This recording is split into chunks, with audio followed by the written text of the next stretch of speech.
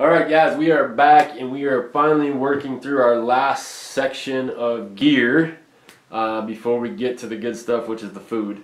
Um, so we've been through our pack and our rain cover, our sleep systems, our packed clothing, our worn clothing and gear, our optics, our weapon, uh, our miscellaneous gear, our water filtration, um, our cook kit, and now we're coming down to some safety gear and just necessities that you should have on any trip, um, whether it's a, a day hunt, uh, a three day hunt, a five day, a nine day, a ten day, whatever the case may be. Um, so one of the first things I wanted to explain is our safety gear compared to the GoHunt.com safety gear is far and wide much much different. Um, so I'm going to give you the pricing up front and the weight up front, but this way it gives you something to think about.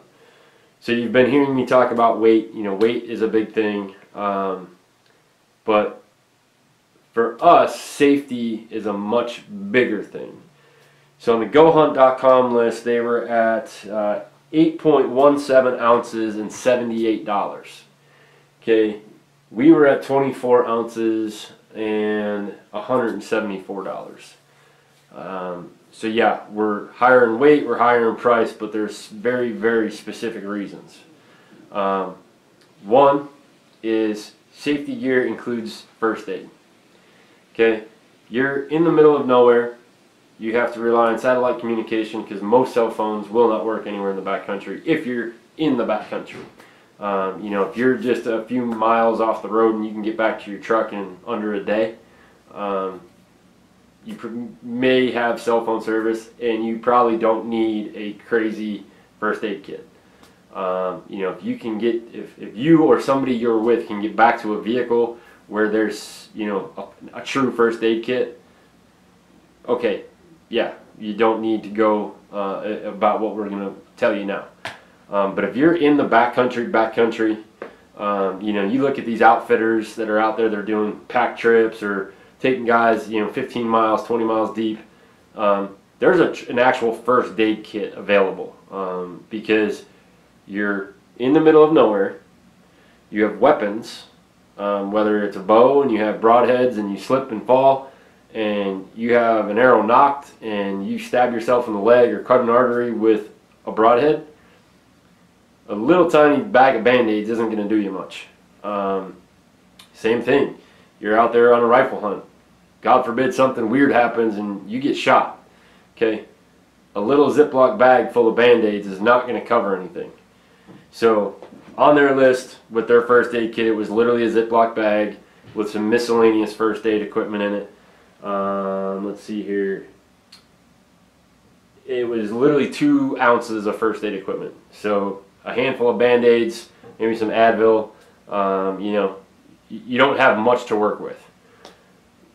For us, um, coming from the past that I've had in this in the hunting and fishing industry, I worked with a lot of guys that we would be doing a demo shoot or something somewhere, and they literally had coordinates up that God forbid something happened, a helicopter can get there in time to get somebody who was wounded by a ricochet, uh, a gunshot wound, anything to that extent. Not only did they have like a full true like EMS, EMT first aid kit in their vehicle, God forbid they couldn't get an ambulance there fast enough to take care of something. They literally had coordinates so a helicopter can come in and fly somebody out. Okay, you probably don't have the ability to do so uh, unless you can get a hold of the ranger station or wherever you may be on your hunt um, to get a helicopter to come in and get you. And unfortunately, in the backcountry, depending on where you are, it might be a little bit of a trek to get you to where that helicopter can land. So, that being said, this is the MyMedic range kit. Okay, this thing is everything you will need and just a little bit more for a backcountry hunt. Okay, number one, if you can see this little metal piece sticking out, okay, that goes to the front pocket, which is right here, and they actually have it strapped in there pretty good um, so that it doesn't come out by accident. Um, but that's actually a tourniquet. So your tourniquet is right there. Okay. Most people like, why would you need a tourniquet? Uh, well, as a wilderness first responder, um, God forbid you slice an artery somehow, some way, um, you will want that tourniquet with you. So, that being said, we got that one out of the way. Um, so, you get into the rest of the pack, and what's great is about the way that this is kind of set up is how it opens. So you've got pull right here and you basically have just about anything and everything you could possibly think of in this pack. Okay, you've got QuikClot, obviously it's to stop blood. Um, you have medical shears, you have band-aids, you have syringes, you have saline solution, um, you have tweezers, you get splinter, rock, something gets stuck in your skin. Um, you have rubber gloves, uh, so if you're dealing with somebody that's not your wound and you need to take care of somebody, you're not getting blood all over you. Um, but this thing is completely set up, has Advil, all types of Tylenol type products. Um, there is, aside from the common cold, uh, there's no like cough medicine or anything in there, but if there's any type of actual an emergency that you need a first aid kit for, aside from just band-aids, which are in here, um, this kit can pretty much do it all. Uh, so this is the range kit. The range kit comes in at 20 ounces. You can buy it off their website for 70 bucks. That includes the tourniquet.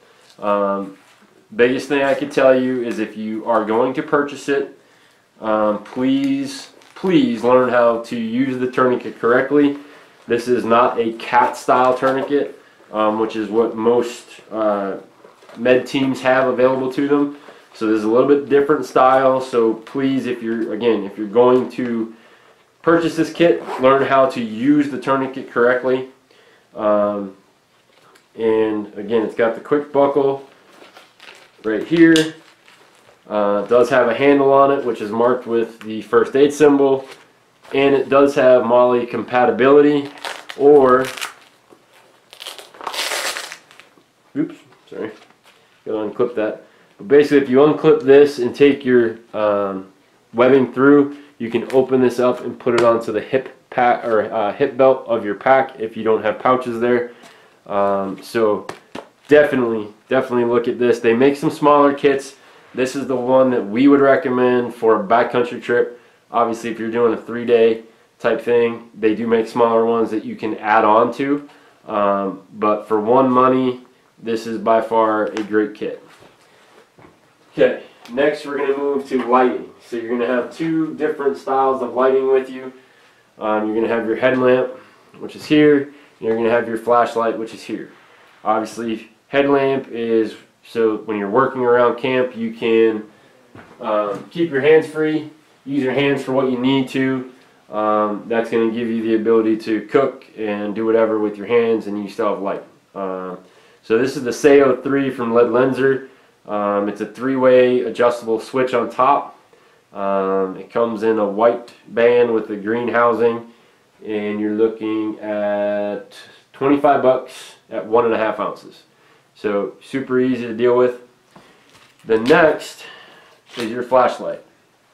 And you can sure go with any flashlight you want. Again, these are all just recommendations. Aside from the MyMedic kit, I would honestly say anybody going in the backcountry needs a kit like that. But um, regardless, again, this is just recommendations. So flashlights, because they get used a lot, I like using flashlights more than headlamps. Um, even when I'm walking, I can hold this, you know, with my hiking uh, or my trekking poles. I can walk and still be able to see. I don't need my headlamp. Headlamp is kind of close range, flashlight long range. So this is the Badger Flashlights uh, BX 1500.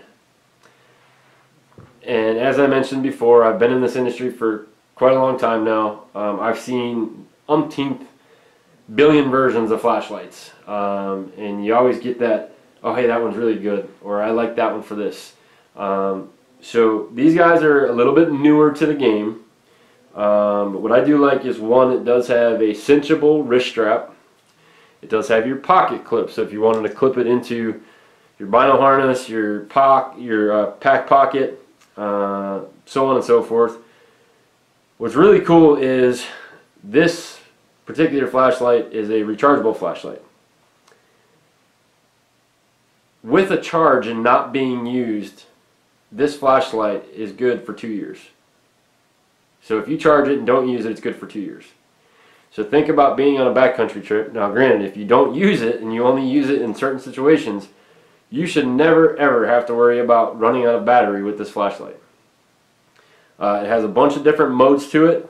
I like the way it's it's kind of set up so it's a little bit slimmer back here in the handle and then it widens out in the front. Your charging port is right here uh, and your power button is here and here. So it's a tail cap and a pressure switch. And the reason that does that is so you can change your modes.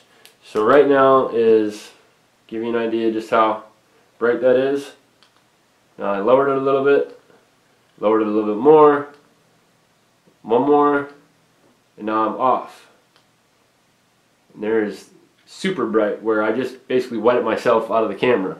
So it is a 1500 lumen flashlight with a tail cap switch and a pressure switch to change your modes and to turn on and off. Um, super lightweight, this thing weighs two ounces. Uh, unbelievable flashlight.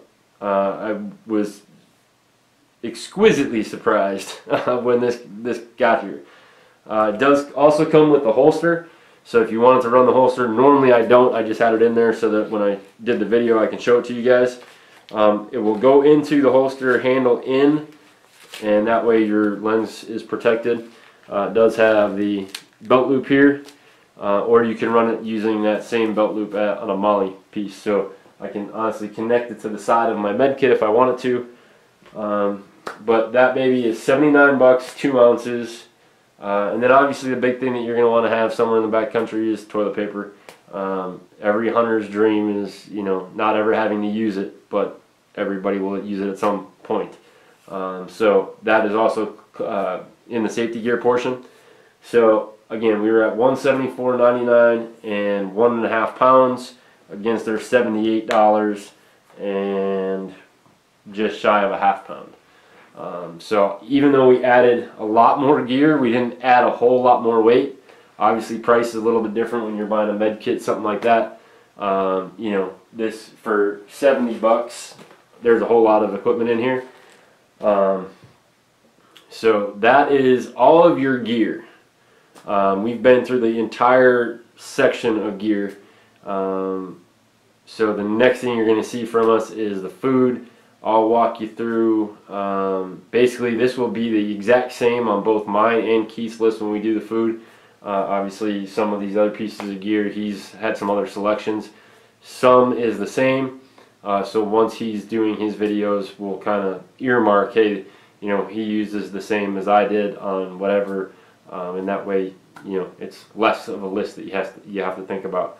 Um, so until the food, get get yourself hungry because we're going to show you lots of stuff um, from everything from breakfast to snacks right through dinner and lunch. Um, so we'll see you guys soon.